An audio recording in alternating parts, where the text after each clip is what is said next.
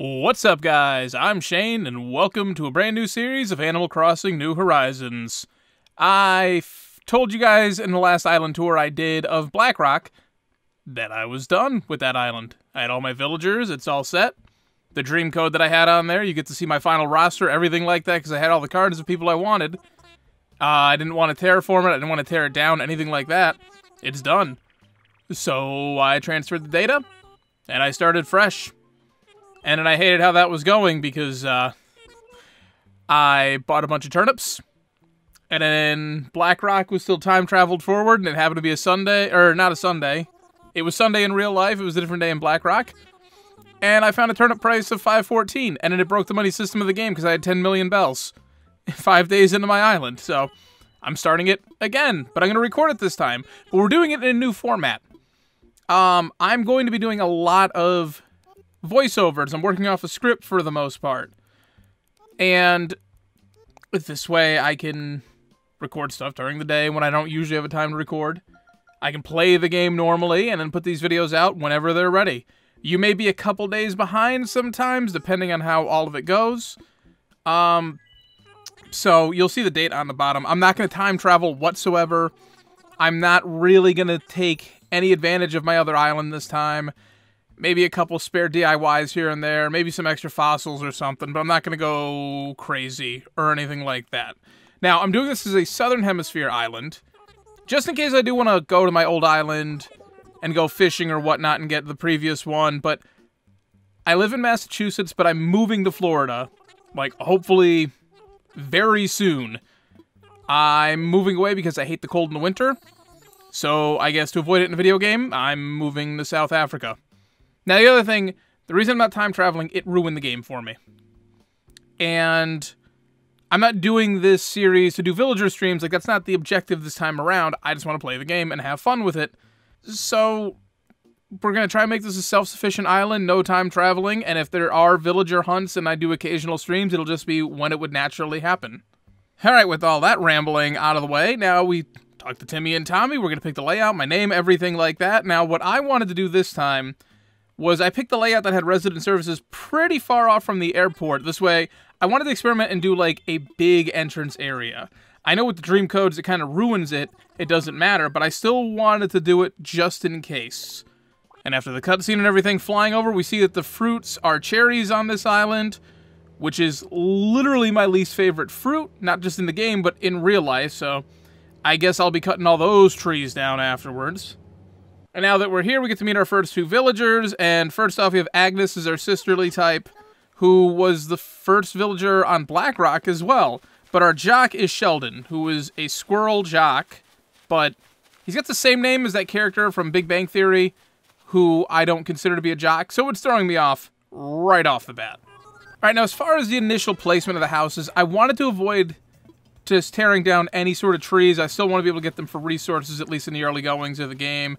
I know eventually I'm going to be tearing pretty much all these trees down anyway, so I just set up my house right here in front of this little pond that happened to be right there because I'm not going to have terraforming for probably a week and a half doing it the natural way, so at least I'll have a nice view in the meantime. Now, as far as where I set up Agnes and Sheldon, just sort of off to the side here. Again, trying not to do too much tearing down trees but giving them enough space so I can do like a front yard and decorate and stuff like that. Because I am going to be trying to decorate and do little things here and there on my way to getting three stars and terraforming and stuff like that.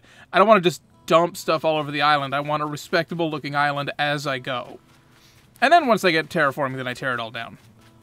So getting through all that, I, once again, don't want to talk to anyone at the party, and I go and sleep. Uh, start the game off at about 2.30 in the afternoon. Tom Nook told me I owed him 49,800 bells, but we settled on 5,000 Nook miles instead. Now, my daily routine is going to be every day pretty much shaking all of the trees, because there's five wasp drops, there's two furniture drops in the trees. I don't care about the 1,200 bells or whatever it is. But the wasps, they all sell for 2,500 bells. And early game, that's great especially considering I'm about to owe Tom Nook about 5.7 million bells over the next week or two, so I'd rather get a head start. I did find two of the wasps on the mainland, and my one furniture drop was a simple kettle. Now, when you're knocking out stuff like this, I went through, posted to the board, I just put hello world because I am a programmer, technically, according to my degree. Not that I do anything with it.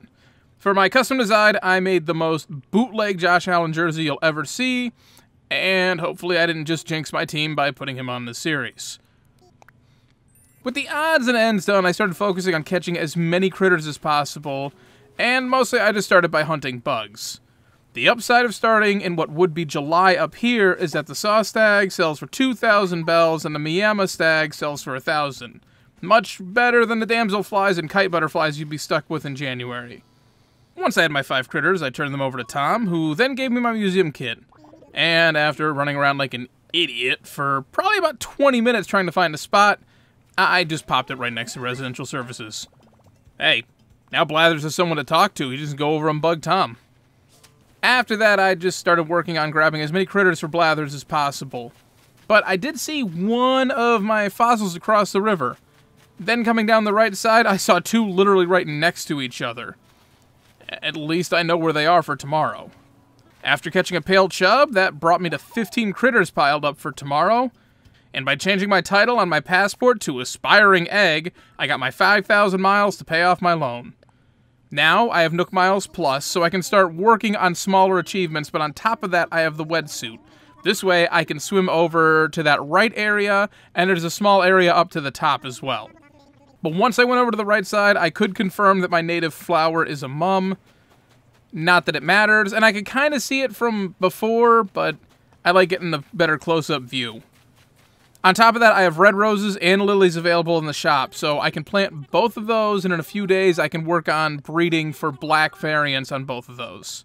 I can't do anything with the red mums, but I'm about to have a ton of them coming off my cliff sides. Now, again, I have access to my old island, and I could just go back and grab some hybrids from there and save myself the time, but I actually really, like, really enjoyed flower breeding when I was doing it the first time through because it was it was exciting. You woke up each day. Did I get this new hybrid? Because uh, no, you know, I didn't have a friend who was doing it. My friend only focused on breeding roses, so all the other variants, that's what I did. And it is exciting, especially once you figured out like how cloning and all that stuff works. So I'm gonna do it naturally, but if anything gives me trouble, or if I don't have space to do the giant rose breeding area, then I'll go grab some stuff from the old island. Now, on top of that, during my daily gathering, my first rock was extra lucky, and out of the seven drops, six were iron nuggets. Overall, I ended up with nine at the end of the day. I used a couple, I made a DIY workbench, and made a couple of the good tools, but it doesn't matter because we're going to be doing a bunch of islands in tomorrow's episode, and I'm sure I will have iron, like, just filling my pockets. After I finished going through, trying to get all the wood, all the weeds, all the fruits, everything I could, cleaned it all up, went into the tent, and sold all the extra stuff and critters that I had gathered. But on my way out, I saw a scorpion running around. And caught it no problem. Getting that done night one before Blathers is even there, it's just nice to get that out of the way because that's one of the only spawns that's really going to give you trouble because it's kind of random. Uh, I also found Wisp as I was swimming around because I wanted to focus on getting some diving done. Uh, but instead, I got distracted by him. I didn't know he could spawn on night one. Uh, but finding his orbs is very time consuming when you only have access to half of the island. So I tried, and as I was looking for around, I found another scorpion. But apparently I was too close because when I pulled out my net, even just hit the button to do it, he aggroed. Uh, he took me down before I even had the animation done of pulling out the net, so unlucky for me. But after a while, I did find all the pieces of Wisp, and he gave me an elephant slide, which is perfect because I want to build a playground as one of my first little areas. This way I can order the playground gym, you know, as I'm sure I fish up a bunch of tires, make some tire toys and stuff like that. It's just, you know, a nice early game area. Again, because I don't want to cheese it. At the end of my first night, between all the extra critters, the diving and stuff like that, not that I got incredibly lucky, but just by catching a bunch of stuff, I ended up with 81,000 bells in my bank account. And considering all the islands we're going to go to tomorrow, just one Sister Fruit Island, and I will easily, easily have enough money to pay for that first loan. and who knows what other kind of luck we might have. But for episode one, and this might be a little bit short, this is where I'm going to leave it off. Now, in the future, I might start combining days into episodes. There'll probably be episodes focused on doing a specific thing.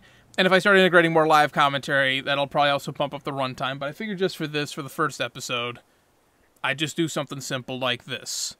Now, again, tomorrow we're going to build our shop, and we're going to go on mystery tours and try and pick out our first three villagers.